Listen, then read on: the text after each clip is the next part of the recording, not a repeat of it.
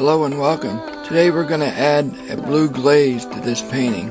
So first we'll take some Lanaken and some Phthalo blue, start mixing them together, and starting at the bottom we'll make a darker shade of the glaze, and then we'll add some more medium to make a lighter shade of the glaze for the sky.